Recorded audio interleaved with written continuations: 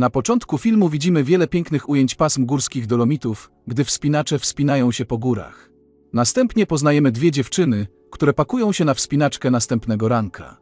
Kelly i Sophie to dwie przyjaciółki, które spędzają wakacje i planują wspiąć się na stromą stronę góry, która ma 10 tysięcy stóp wysokości. Kelly zdejmuje swój medalion i widzimy, jak zastanawia się nad czasem, kiedy ona i jej zmarły chłopak wspięli się na górę. Następnie chowa medalion do torby, gdy czterech awanturniczych mężczyzn przyjeżdża jeepem i robi dużo hałasu, przyciągając uwagę dziewcząt.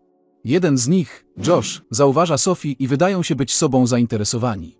Chwilę później mężczyzna puka do ich drzwi. Przedstawia się i próbuje tandetnego podrywu na Sophie. Josh zaprasza ich również na imprezę, na drinki i inne atrakcje. Sophie odmawia po tym, jak Kelly mówi nie. Następnie przenosimy się do przyjaciół Josha. Zak mówi, że miejscowi powiedzieli im, że są jedynymi, którzy zamierzają się wspinać, ponieważ jest tam już lód. Rozmawiają również o tym, że to źle, że Josh podrywa dziewczyny, mimo że jest zaręczony. Josh podchodzi do nich i zaczyna robić sprośne żarty, które wkurzają Taylora. Tutaj widzimy, że Josh nie wydaje się być świetnym przyjacielem i jest bardzo agresywny. W kabinie Sophie przekonuje Kelly, by poszły na drinka z chłopakami i obiecuje, że wrócą na czas. Po kilku prośbach Kelly w końcu zgadza się do nich dołączyć.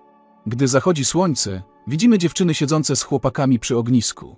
Sophie jest najbardziej rozmowna i nie ma problemu z dokuczaniem Joshowi i innym, podczas gdy Kelly siedzi cicho i popija drinka.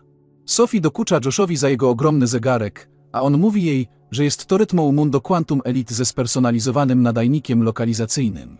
Gdziekolwiek jest na świecie, wszystko co musi zrobić, to nacisnąć przycisk, a grupa ninja wpadnie do niego.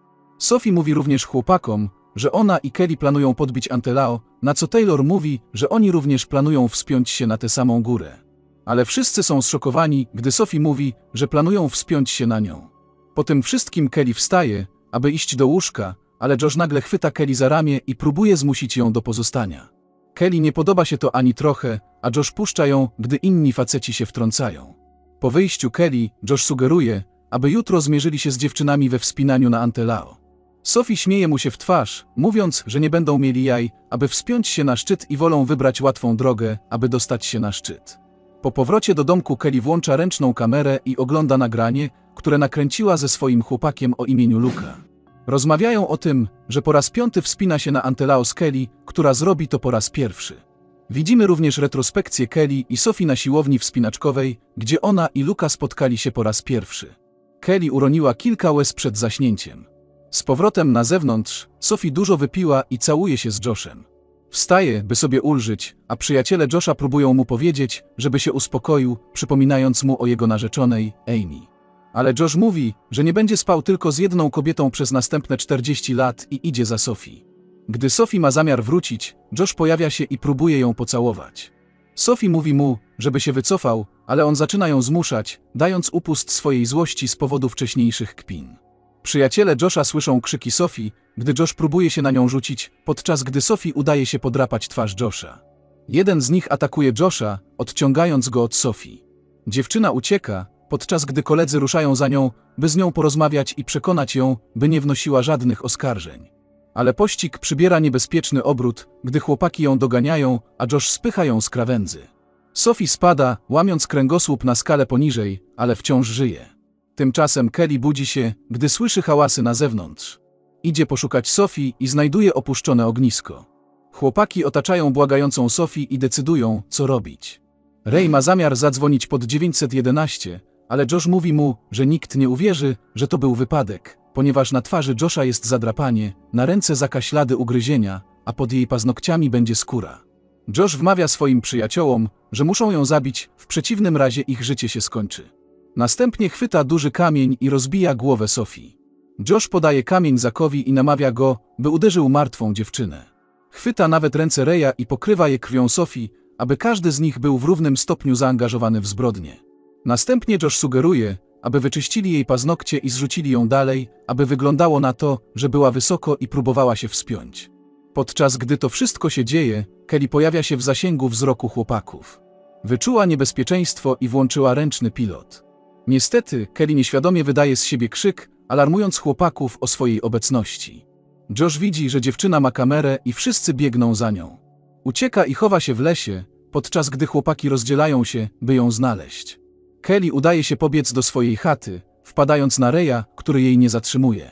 Bierze swój sprzęt wspinaczkowy i rusza na szczyt Antelao, mając nadzieję, że uda jej się uciec chłopakom, którzy nie są tak doświadczonymi wspinaczami jak ona. Gdy zaczyna się wspinać, chłopaki doganiają ją, a Taylor wspina się za nią. Nie jest tak szybki jak Kelly, ale udaje mu się ją dogonić kilka razy, ale ona uderza go stopą. Ostatecznie traci równowagę i upada, łamiąc nogę. Jego piszczel wystaje w makabrycznym widoku, a on krzyczy z bólu. Josh jest wściekły i krzyczy na Kelly, że przyjdzie po nią. Chłopaki zabierają rannego przyjaciela do swojej chaty, a Josh karmi go garścią środków przeciwbólowych, zamiast pędzić na pogotowie. Mówi mu, żeby zadzwonił po pomoc, jeśli nie wrócą w ciągu 24 godzin. Josh jest całkowicie skoncentrowany na odzyskaniu kamery, która składa się z dowodów uznających ich za morderców, a ponadto nie obchodzi go, kto zostanie ranny w tym procesie. Podczas gdy trzej faceci przygotowują się do wspinaczki za Kelly, Kelly otwiera swoją torbę, aby zobaczyć, jaki sprzęt ma pod ręką, ale nie ma tego zbyt wiele. Jej liny spadły, gdy Taylor próbował się do niej dostać, a ona również nie ma na sobie odpowiedniego sprzętu. Ale dla niej to walka jej życia i Kelly nie zamierza się poddać. Pod nią chłopaki znajdują telefon Kelly, który leży na ziemi, ponieważ wypadł, gdy Kelly zaczęła się wspinać. Josh zatrzymuje telefon, a następnie mówi przyjacielowi, aby kontynuował przygotowania, pędzi do kabiny. Ray i Zack zaczynają rozmawiać, a Ray jest winny wszystkiego, co robią. Zack ujawnia, że tak naprawdę są przyjaciółmi od trzeciej klasy i że zrobili coś złego obuzowi, który podrywał Raya, więc mówi Rayowi, żeby się zamknął i trzymał planu. Kiedy Josh nie wraca, Zack idzie za nim. Znajduje Josha wychodzącego w pośpiechu i karci go za to, że na niego nie czekał. Następnie wracają do wspinaczki i zaczynają ją ścigać, gdy Kelly kontynuuje wspinaczkę. Utrzymuje koncentrację i spokój, używając słów Luki jako motywacji do kontynuowania. Przypomina sobie, jak mówił jej, że wspinaczka jest jak szachy, gdzie powinna skupić się na umyśle, a nie na mięśniach. Korzysta więc z jego rady i wyjmuje mapę, aby sprawdzić trasę przed kontynuowaniem. Tutaj dowiadujemy się, że mężczyźni nie są daleko w tyle, ponieważ mają lepsze zapasy i sprzęt. W międzyczasie Kelly napotyka kolejne kłopoty w postaci węża, który pełza po jej dłoni. Pocą się, ale nie ruszają się ani nie panikują, dopóki wąż nie zniknie. W rzeczywistości jej dłonie nie są zakryte rękawiczkami, a wspinaczka zaczęła zbierać na niej żniwo. Następnie zatrzymuje się, aby napić się wody, ale niestety jej butelka spada poniżej. Josh widzi to i kpi z niej, pijąc wodę z własnej butelki. Kontynuuje drwinę z niej, wysyłając sobie prośbę z jej konta w mediach społecznościowych i używając jej telefonu do umieszczania fałszywych statusów w jej imieniu. Kelly stara się zignorować Palanta i pudruje ręce, by kontynuować wspinaczkę. Następnie znajduje linę, która pomoże jej wskoczyć na wyższy uchwyt, ale nie jest w stanie jej dosięgnąć. Kelly wyciąga drut z podszewki torby i używa go, aby dosięgnąć liny. Przypomina sobie lekcję Luki na temat tego manewru i z powodzeniem go wykonuje. Widzimy również, jak Josh i jego przyjaciele używają łatwiejszej trasy, aby wspiąć się wyżej niż Kelly i szybciej niż ona, ponieważ ogranicza się ona do czystej strony góry, aby mężczyźni nie mogli się do niej dostać. Później Kelly natrafia na stary namiot i zatrzymuje się tam na przerwę. Do tego czasu Josh i pozostali wspięli się na półkę tuż nad nią, odcinając jej drogę, chyba że chce przejść przez ich ścieżkę. Josh rzuca jej linę i mówi, żeby przywiązała do niej kamerę, a oni puszczą ją bez szwanku. Ale Kelly nie jest idiotką. Zamiast tego przywiązuje do liny notatkę, co jeszcze bardziej rozwściecza Josha. Nie mając innego wyboru, Kelly jest zmuszona spędzić noc w namiocie, który znalazła. W namiocie znajduje kilka przedmiotów, w tym ostry przedmiot, który chowa do kieszeni w celu dalszego wykorzystania. Następnie Kelly naprawia go najlepiej jak potrafi i jest w stanie wejść do niego później tego samego dnia. Chociaż jej droga na górę została zablokowana przez Josha i innych, przynajmniej ma szansę odpocząć i zjeść trochę jedzenia. W tym momencie dowiadujemy się, że rok temu ona i jej chłopak odwiedzili to samo miejsce, aby wspiąć się na górę. Ale bez wiedzy Kelly, jej chłopak planuje coś jeszcze. Jej chłopak zaskakuje Kelly, oświadczając się jej, jednak ta szczęśliwa okazja zostaje przerwana, gdy facet traci równowagę i upada. Nie przeżywa upadku i zostawia za sobą zrozpaczoną Kelly. Wracając do teraźniejszości, gdy Kelly układa się na noc, Josh napełnia torbę kamieniami i rzuca ją w dół. Na szczęście Kelly udaje się zachować bezpieczeństwo. Później tej nocy Kelly zostaje obudzona przez Zaka, który zjeżdża na linię, by ją złapać. Chwyta ją, a Kelly chwyta nóż, który znalazła wcześniej i dźga go. Nagle wypadają z namiotu i oboje trzymają się liny, aby przeżyć. Ray i Josh podciągają ich do góry, ale kiedy Josh dociera do Kelly i zabiera jej naszyjnik, ona wyciąga nóż od Zaka i przecina linę. Kelly ma ogromne szczęście, gdyż podczas spadania udaje jej się złapać namiotu i usiąść na zboczu góry. Ponieważ namiot spadł z półki, jej jedyną opcją jest teraz spędzenie nocy trzęsąc się z zimna. Kelly zdołała utrzymać swoją torbę, w której znajdował się aparat, ale Josh złapał jej naszyjnik z pierścionkiem, a mając jej telefon, wszystko rozgryzł. Zak jest teraz ranny i chce, aby Josh zadzwonił po pomoc, na co Ray się zgadza. Aby ich uspokoić, Josh zgadza się i odchodzi, aby zadzwonić. Tej nocy, kiedy cała trójka śpi, Zak zwraca się do Reja i mówi mu, że podejrzewa, że Josh kłamie.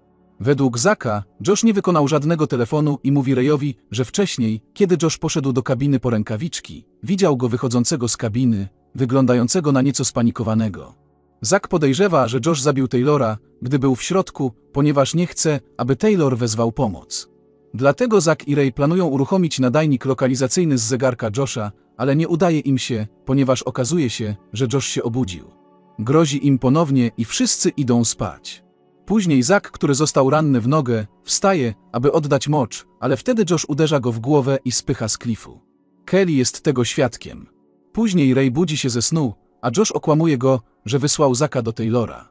Następnie Ray przekonuje Josha, aby wysłał go na rozmowę z Kelly o kamerze i jej życiu, a Josh robi to, o co został poproszony. Kiedy Ray spotyka Kelly, daje jej swoje jedzenie i przeprasza za to, co stało się z jej przyjaciółką. Jeśli chodzi o kamerę, mówi Kelly, aby mu ją dała, a on powie Joshowi, że zepchnął ją z góry. Ale zamiast tego Kelly mówi Rayowi, że Josh zabił Zaka i widział, jak jego ciało spada z półki. Ray jej nie wierzy, więc Kelly mówi Rayowi, że Josh zabije ich oboje bez względu na to, co się stanie. Następnie postępują zgodnie z planem, a Ray zabiera kamerę do Josha. Kiedy Josh sprawdza kamerę, odkrywa, że brakuje w niej karty pamięci. W tym samym czasie Ray próbuje zadzwonić na telefon Taylora, ale ku jego zaskoczeniu słyszy dzwonek w kieszeni Josha. Ponieważ Josh został zaskoczony, obaj przystępują do ataku. Niestety, Joshowi udaje się pokonać Reya, a następnie podpalić go i wykończyć. Teraz, gdy wszyscy jego przyjaciele nie żyją, przyszła kolej na Kelly. W międzyczasie Kelly rozgląda się i widzi, że jej nóż jest niedaleko, więc ostrożnie rusza, aby go zdobyć. Kiedy udaje jej się zdobyć nóż, widok węża daje jej pomysł, co robić dalej. Josh przygotowuje się do ataku na Kelly, a kiedy się z nią konfrontuje, żąda informacji o lokalizacji karty pamięci. Kelly oszukuje go, mówiąc mu, że karta jest w jej torbie, wewnątrz szczeliny. Josh zostaje poproszony o włożenie ręki do środka, a gdy tylko to robi, jego ręka zostaje ugryziona przez węża. Wścieka się na plan Kelly i zaczyna ją atakować. Kelly robi wszystko, co w jej mocy, aby go odeprzeć i ostatecznie ma przewagę. Z tego powodu Josh jest zmuszony chwycić się skały i zaczyna tracić siły. Kelly jest w stanie zdjąć z niego naszyjnik, a także naciska przycisk na jego zegarku, aby natychmiast wezwać pomoc. A teraz nadszedł czas Kelly na wykonanie śmiertelnego ruchu. Josh w końcu traci przyczepność i upada na śmierć. Kelly odczuwa ulgę, że jej koszmar się skończył i że wciąż ma w dłoni swój pierścionek wraz ze wszystkimi dowodami. Na koniec widzimy, jak Kelly kontynuuje wspinaczkę na szczyt.